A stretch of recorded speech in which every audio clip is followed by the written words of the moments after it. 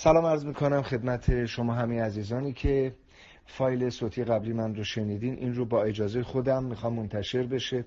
چون قبلی اصلا با اجازه من نبوده توی فضای خصوصی منتشر شده. این که شما با لباس خونه بشینید تو جمع دوستات یه عکس بگیر بعد فردا ببینید رو بیل برده فرداش هم که نه هم که نه پنج دقیقه بعدش. و این کار بی اخلاقی و زشت و خیلی خیلی بد رو یک دوست خبرنگار انجام داده. این دهنلقی از جانب یک خبرنگار صورت گرفته که البته قصدم متلک نیست اگر متلک فرض میشه ایراد نداره چون کار غیر اخلاقیه. اگر یه بازیگرم بود باز همین لحن رو براش استفاده می‌کردم.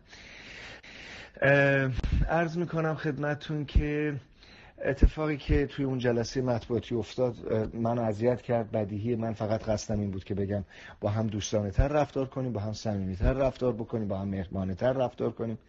و موضوع بیماری خانم جعفری هم چیزی نبوده که بوده که خصوصی باشه ایشون خودشون مفصل و دقیق و مستقیم راجبش توی خندوانه توضیح دادن. من فقط قصد بود که بگم مراعات بکنیم بهتره ولی منظورم ارجا بابت اینکه ای وای وای فلان اینا اصلا نبوده. بعدم توی اون فضای خصوصی بین ما من و مخاطبینم یا مخاطبم که این, گفتگو رد و شد رد و بدل شد تش هم به این منجر شد که آقا صلوات بفرست قربونت برم چاکرم مخلصم از این حرفو تموم شد رفت. بعد یه ایوا از جاهای مختلف سر داره بود و اینکه سفر کشکولی عزیزم من توی اون مطلب اگر توی اون صدا اگر راجبش چیزی چیزی گفتم سفرخان عزیز دل ماست مخلص ایشون همیشه بودم هستم و خواهم بود. اگر ناراحت شدن ازش عذر می‌خوام. و اینکه همین. قصی ندارم فقط اینکه نمی‌دونم چرا بچه اینقدر آمادن برای اینکه پرخاش بکنن بپرن به همدیگه به همدیگه بعد این لحن اینکه یا این جملات این که ما نبودیم شما کجا بودید و اینها رو نمی‌فهمم. به خاطر اینکه من تصورم اینه که ما همه از یک خانواده ایم همه باید هوای همدیگر داشته باشیم همه داریم تلاش می‌کنیم که سطح فرهنگی جامعه رو ارتقا بدیم کمک بکنیم به همدیگه تا اتفاقات باحال بیفته. و نیما حسین نسب نمی‌دونم چرا اصولا همیشه آماده است برای اینکه با من کشتی بگیره. وزنامون به هم نمی‌خوره وگرنه حتما مخلصش هم هستم در خدمتش بودم. حالا بیخیال و اینکه همین چاکرم امیدوارم همه سالم سلامت باشن خوش باشن و بهشون خوش بگذره. آرامش واقعا توصیه همه به هم است. نه من فقط به یه عده یا یه عده به من همه با هم دیگه رفیق باشیم. این به نظرم اتفاق بهتریه. اینقدر زود خط نکشیم یا خط نشون یا تهدید نکنیم همدیگه رو. این لحن بدی اگه قرار به تهدید باشه که هممون از ازش سر در میاریم بلدیم چه بلدیم چه باید هم دیگه تهدید کنیم. ولی واقعیت اینه که توی خندوانه لاقل این مشخصه که ما بارها و بارها مستقیم و مشخص تقدیر کردیم از خبرنگارهای عزیز روز خبرنگار رو جشن گرفتیم منتقدین همینطور و و و و. پس این نشان دهنده اینه که ما رفیقیم. هیچ وقتم در هیچ جلسه نبوده که من با هیچ خبرنگاری یا جمعی از اصحاب رسانه بد اخلاقی کرده باشم. بماند که وقتی این مطلب پنج دقیقه بعدش منتشر شد یا هم آدم اومدن توی صفحه توی تلگرام من شروع کردن به فوش دادن. واقعا تلفن منم این تخلیه تخلیه چه همه جا منتشر شده. و اینکه چاکرم ارادت و مخلصم. قربون همه خداحافظ. ترجیح می‌دادم این مطلبی که الان اینجا فرستاده شده رو نبینم. واقعیتش اینه که همونقدر که تعداد قابل توجهی از بازیگرای ما بی سوادن تعداد قابل توجهی از خبرنگارامون هم بی سوادن این معنیش اصلا دفاع الان از خانم جعفری نیست. واقعیتش این لحن رو نمی‌فهمم که با زبان روزه اونجا نشسته بودند. یک لحن آهوناله ناخوشایندی توی این مطلب هست. و اینکه باز دوباره توش من دارم می‌خونم الان میگه که اگر که بچه های رسانه نبودن شما الان به جعفری نبودید. آره ممکن بود یهو مثلا سفر کشکولی از آب در بیاد خانم بهناز جعفری.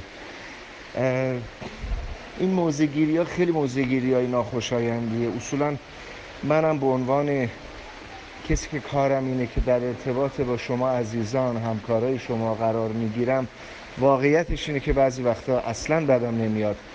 یه چیزای درشت ناخوشایندی رو ارائه بدم که باعث سوزش بعضی از جاهای حساس اون عزیزان بشه. این کار رو خیلی خوبم می‌تونم از پسش بر بیام. ولی واقعیت اینه که نمی کنم این کار رو. بعدم اگر یکی این کار رو می‌کنه اینقدر بهش نپریم اینقدر باهاش بد رفتاری نکنیم. خانم جعفری جایگاه خودش رو داره. اگر بدخلقی کرده این خوبه که دست جمعی نشینیم جلوش دندون تیز نشون بدیم. یا اگر اون دندون نشون میده ما هم این کار رو در جوابش بکنیم. در حال ایشون خیلی سال داره کار می‌کنه آدم درستیه آدم زحمت کشیده ایه نمی‌دونم از کجا حالش بد بوده. سوالا می‌تونه حالش رو بد کرده باشه.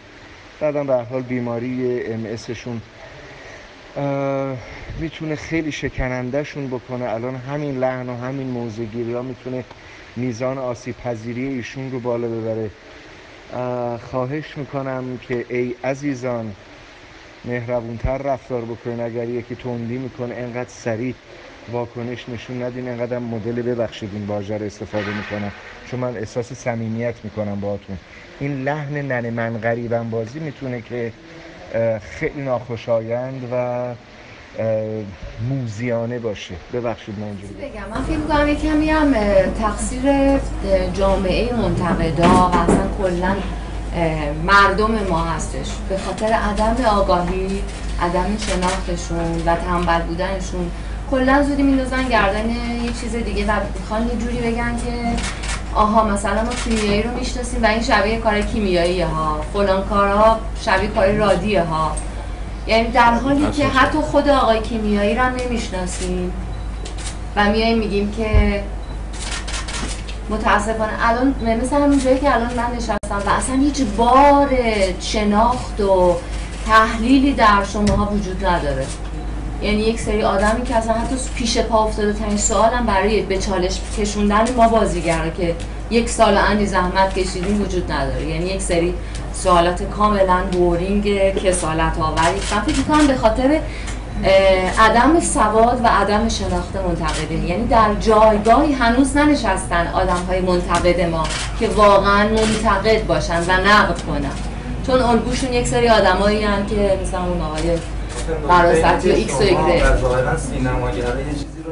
نه چرا خیلی چیزا رو می‌دونیم؟ شما بپرسیم به چه دلیل باید بگی که می‌دونیم شما باید وظیفت سوال کنی.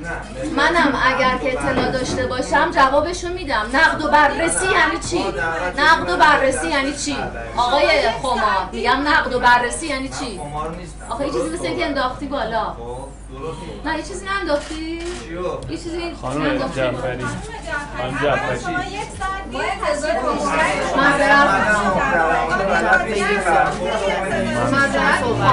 بفرمایید یه ذره مطالعه بکنید تفاوت خبر و نقد رو بدونید شما اگر کار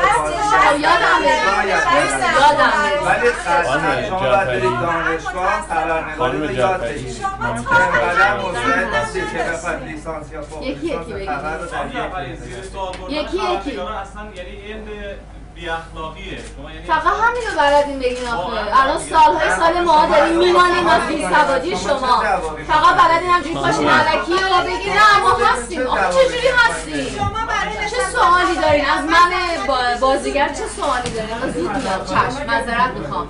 تا الان زیر گیری شما بودم